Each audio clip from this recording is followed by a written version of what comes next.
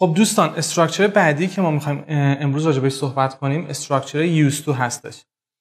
ما از استراکچر use to استفاده می‌کنیم برای اینکه راجع به past repeated actions صحبت کنیم. همونجوری که می‌بینید از use to و در بعضی از موارد از would برای این کار استفاده میشه. مثلا می‌خوایم بگیم که من قبلا توی گذشته خیلی با دوستان بازی می‌کردم یا خیلی با دوستان بیرون می‌رفتم ولی دیگه الان این کار رو انجام نمیدم. مثلا میگیم که when I was in my 20s I used to go uh, out or I'm sorry I used to hang out with my friends a lot. Okay?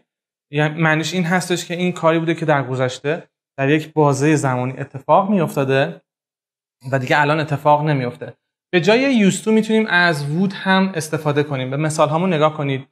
She used to keep the front door locked. منظورش اینه که عادت داشته که همیشه در جلو رو درب جلو رو قفل نگه داره. یا She would leave the door unlocked whenever she was at home. ببینید دقیقا would مثل used to توی استراکچر ما توی جمله ما استفاده شده. ولی خب باید بدونیم که یه سری فرق های بین این دو تا استراکچر وجود داره. اولین فرقش این هستش که would خیلی معمولا unusual هستش که بخواد توی question یا yes no question ها یا WH question ها بیاد و به جای اون هر موقع بخوایم از این استراکچر استفاده بکنیم از used to استفاده می‌کنیم. مثلا she wouldn't keep the door unlocked. یه چیز نگتیوه خب پس در واقع ما ترجیح میدیم که به جای wouldn't از used to استفاده کنیم. این اولین فرقش بود که ما در واقع راجبش صحبت کردیم و در واقع فرق دوم این مورد هستش که ما موقعی که می‌خوایم یوز رو استفاده کنیم نمی‌تونیم استفاده کنیم که بگیم یک اکشنی توی گذشته برای چه مدتی اتفاق افتاده. مثلا نمی‌تونیم بگیم که he used to work for police force for over 17 years.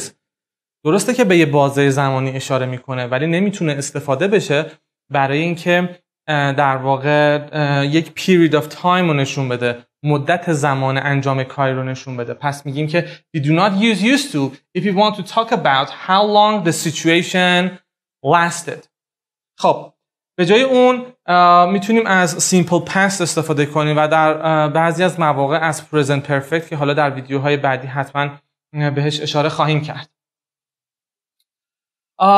یک بار دیگه می‌خوام فرق سیمپل پس و یوستو رو براتون بگم چون در واقع زیاد دیده میشه که تمام لرنرها این دوتا تنس رو این دوتا استراکچر رو با همدیگه قاطی می‌کنن و نمی‌تونن درست استفاده بکنن ما از to استفاده می‌کنیم to uh, uh, refer to a period of time in the past.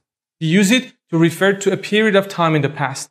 But we use simple past tense in order to talk about one certain time in the past. Okay? یا می‌تونیم بگیم که used to فقط به یه بازه زمانی توی گذشته اشاره می‌کنه ولی simple past به یک تایم خاص توی گذشته. به مثالمون دقت کنید.